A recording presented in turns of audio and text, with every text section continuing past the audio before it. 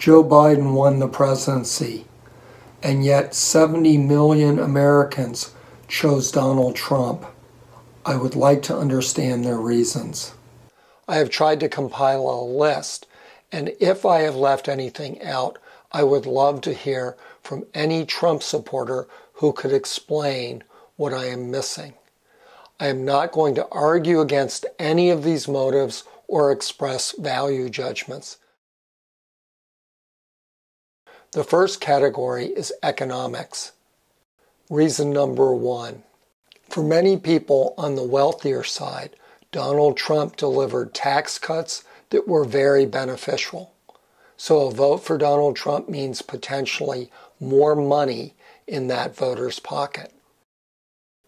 Two, some believe a vote for Trump will mean a crackdown on unfair trade practices, and it will bring back jobs from China and other foreign countries to America. Three, I often hear, I work for what I get, which has the implication that others do not. It is the makers versus takers argument. This reason to vote for Trump is that the voter is sick and tired of what he or she believes are freeloaders gaming the system to get undeserved transfer payments from the government. A vote for Trump and the Republicans would stop that. Four, Trump is a businessman who understands how to run our capitalist economy much better than the bureaucrats, economists, and politicians who want to make our country socialist. The next category is religion and culture. Reason number five abortion, gay marriage, sex change operations, and possibly even contraception are offenses in the eyes of God, and a vote for Trump will help rid these sins from America. Six, America needs to have a strong Christian identity. A vote for Trump will tear down that wall between church and state. Seven, biblical prophecy requires that Jerusalem becomes the capital of Israel before the second coming of Jesus can occur. Trump achieved this. 8. A vote for Trump ensures Second Amendment rights to own guns will not be whittled away by the Democrats. 9. Trump stands solidly against political correctness and cancel culture.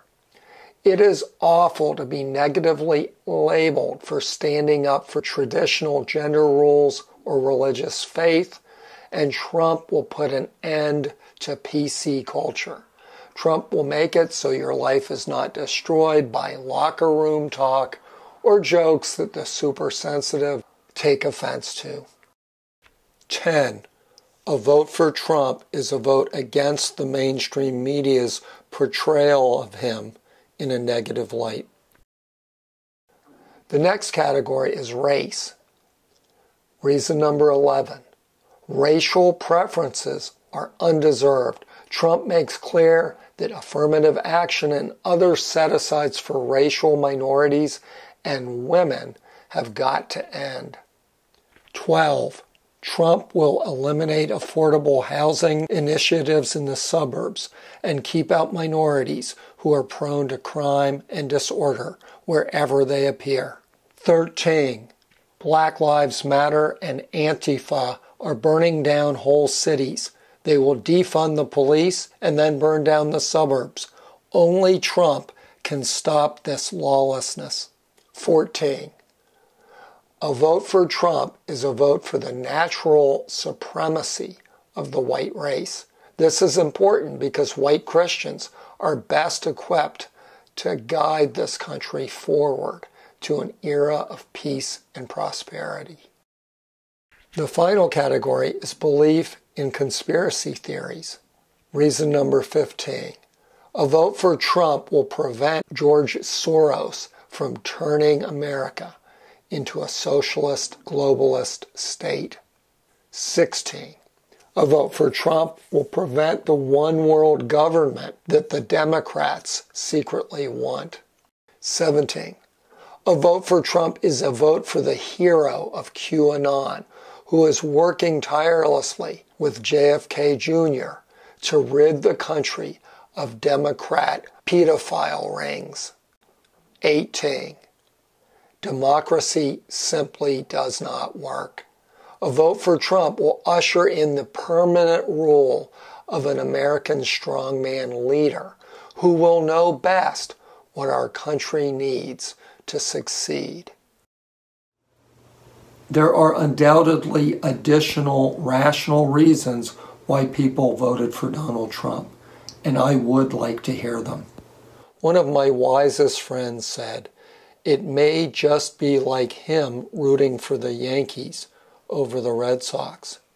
Because of where he was born, his allegiance was permanently set, and no degree of rational persuasion will ever change it. But I am hoping that the future of our country is not like a baseball game. I know that the true racists, conspiracy theory believers, or people who genuinely prefer autocracy will not be reachable. But maybe for some on the center right, an appeal to reason and compromise may work and help us to preserve our democracy.